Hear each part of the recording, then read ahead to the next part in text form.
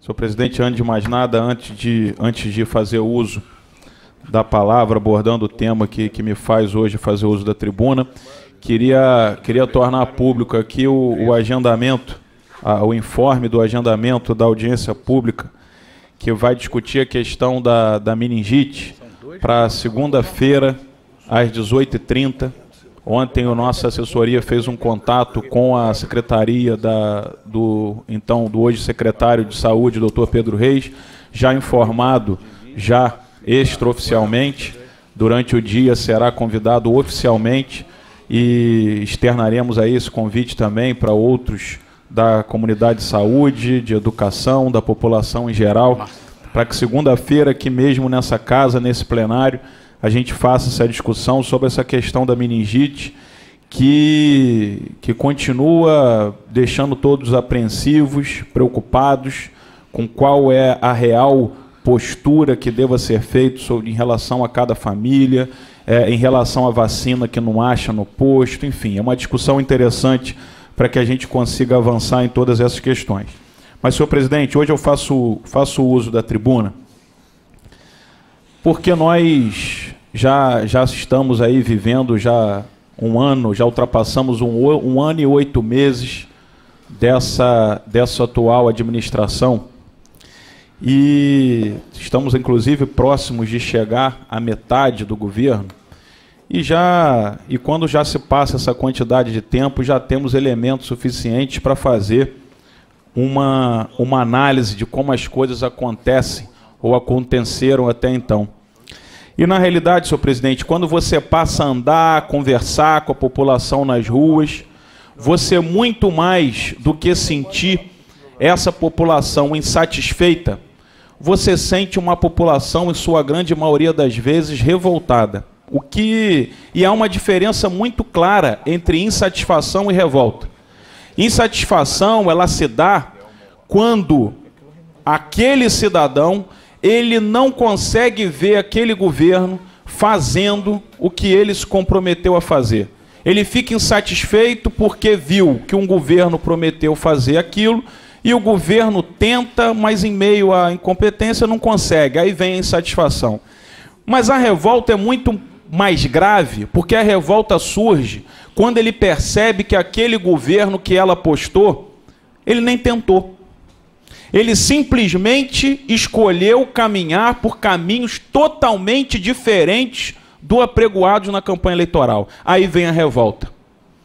E, e ontem eu saí daqui, quando nós saímos e encerramos a discussão sobre a questão da, trans, da possível transformação da linha férrea em BRT, eu, eu saí daqui com, com esse pensamento de que os debates e as ações envolvendo o transporte público resumem de forma muito tranquila e transparente isso que eu venho dizendo, da questão da revolta, da questão de, de não conseguir reconhecer esse governo com aquele então candidato da campanha. Vejamos, senhor presidente. O que mais escutamos na campanha eleitoral foi esse transporte público é um desrespeito ao trabalhador. O trabalhador acordar cedo, esperar tanto tempo no ponto de ônibus para chegar, entrar no ônibus lotado, isso é inadmissível. Nós vamos quebrar o monopólio da City, vamos colocar outras empresas e nós vamos oferecer o que há de melhor a essa população. Isso todos podem conseguir refrescar a memória entrando na internet, que os vídeos da campanha estão na internet.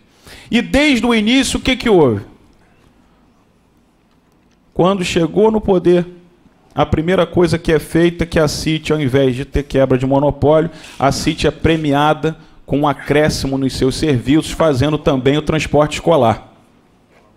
E aí passa um mês e pouco depois, vem um projeto de lei para essa casa que aumenta o valor da passagem para R$ 3,16 porque o valor da passagem real é de um real mais 2,16, fazendo com que a gente tenha um dos valores de passagem mais caro do país para um serviço totalmente ineficiente.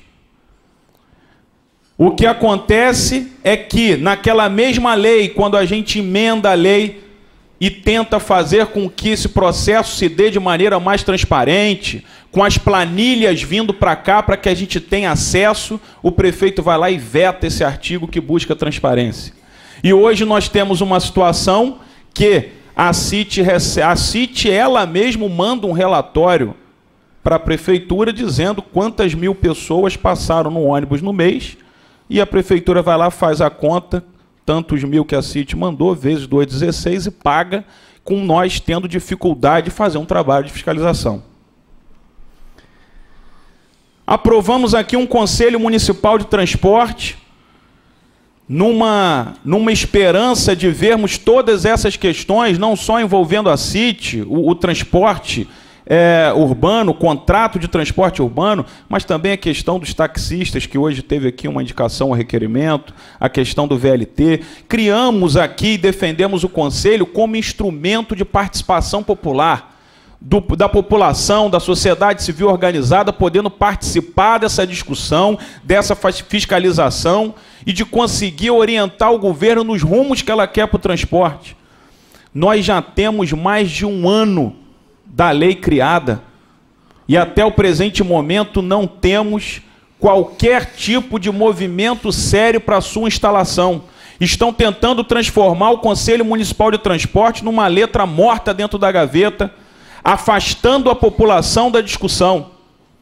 E aí agora, depois de toda uma discussão de meses envolvendo o VLT, onde eu reafirmo aqui o meu posicionamento contrário a retirada do VLT daqui, das composições, respeitando os posicionamentos diferentes, mas entendendo que qualquer problema que tenha havido na implementação do projeto poderia ser solucionado para que esse trem passasse a andar.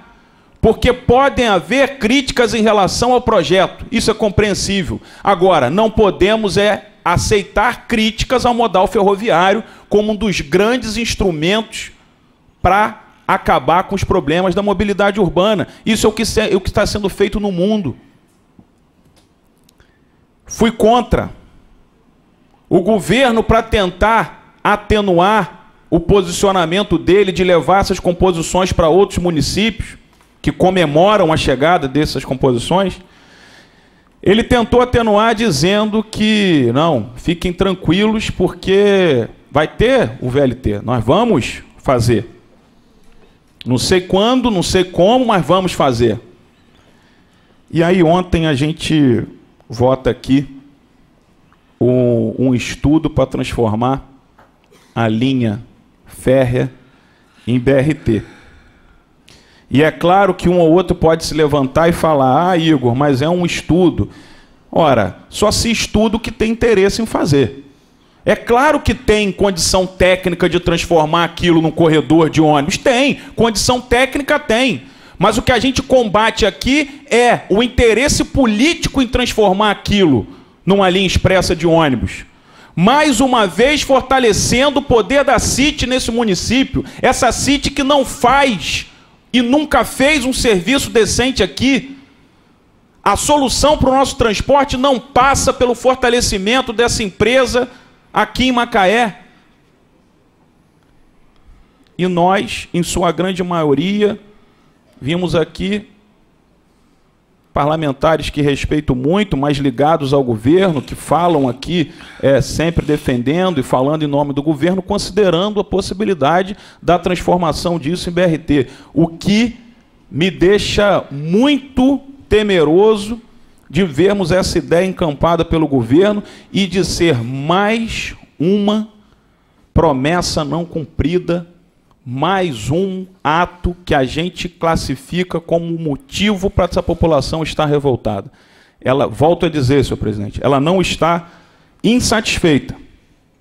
Insatisfeita ela estaria se ela estivesse vendo que, apesar do, do monopólio não ser quebrado, por, por ver que o, a outra coisa não está acontecendo, se ela estivesse vendo que pelo menos estivesse acontecendo a tentativa, ela estaria só insatisfeita. Pô, esperaria resultados melhores, não está conseguindo fazer, mas a revolta é que vem predominando.